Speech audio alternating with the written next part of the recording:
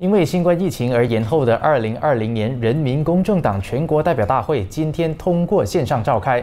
党主席拿督斯里安华在发表政策演说时指出，蓝眼过去二十年的历史当中不缺乏背信弃义的成员，提醒其他党员必须坚守和捍卫党的斗争理念，杜绝一切贪污、滥权和背叛的行径。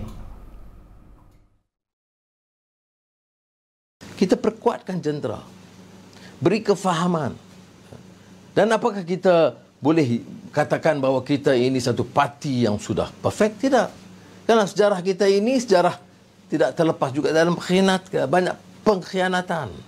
Ha? Sejarah kita juga ada bibit-bibit di mana pemimpin-pemimpin itu bila diberikan sedikit kuasa mengumpul kekayaan luar biasa.